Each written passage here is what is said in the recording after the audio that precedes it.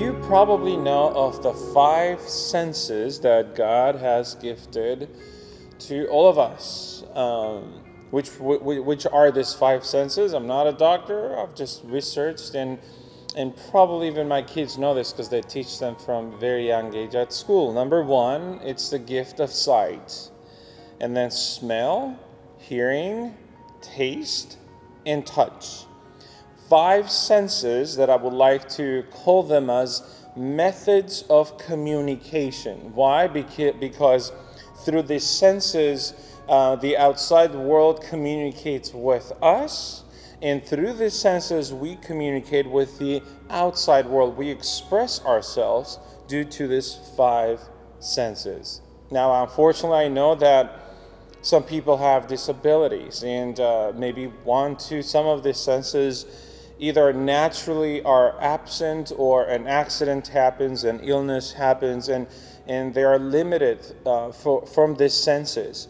Um, I remember during COVID uh, how many people would, would uh, call me and ask for prayers because due to COVID, their sense of taste uh, or smell was absent. And so they would go into this very panic mode because due to that, um, their favorite food uh, was just tasteless, right? And the things, the little things in life that would give them so much happiness, all of a sudden they're gone.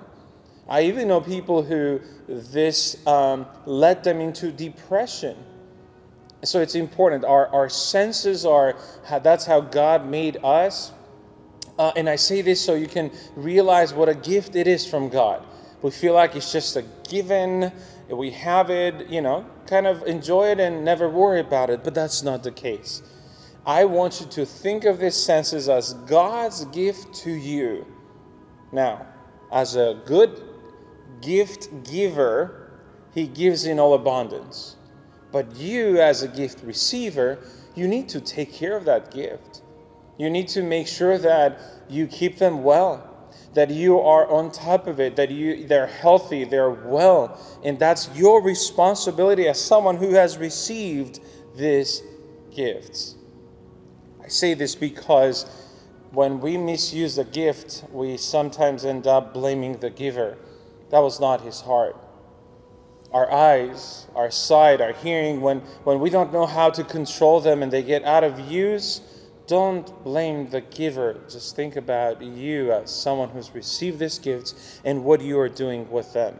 Now, all these senses, when they are at work, they uh, store information, they store experiences in your mind, and that affects directly one of your organs, that is your heart.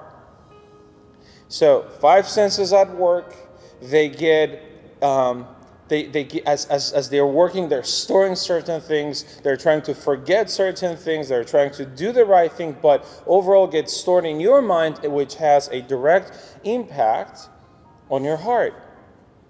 The scriptures knew about this. Solomon, King Solomon knew about this. In his writings in Proverbs chapter 4, verse 23, he says, Keep your heart with all diligence why? From out of it, it springs the issues of life. What he's saying is, this five senses that makes you alive, gives you life to live, they directly are expressing what's in your heart. So you must keep your heart healthy. Diligence means being careful, being constantly attentive. And the word keep it means it's a constant work, everyday work just the way you take care of your computer memory, your phone memory, whatever memories nowadays we have, everything is, is storing memory, the camera that I'm talking to. It's our responsibility to keep it with diligence, with carefulness, just to make sure that what comes out of it is also a blessing. You have a heart, and it's working. God's gift to you. You have senses, God's gift to you. But I tell you, I want us to be responsible in using them well, storing them well, keeping them well and healthy and available for God to use us.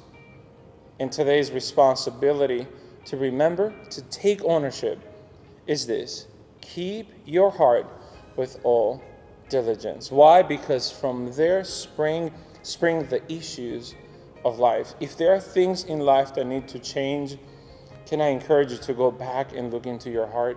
If you feel like things are getting out of control, they're just getting bad, please go back and look into your heart. You'll see that there's maybe some work to be done. I want to encourage you in that to watch your heart because from there comes springs the issues of life. God bless you.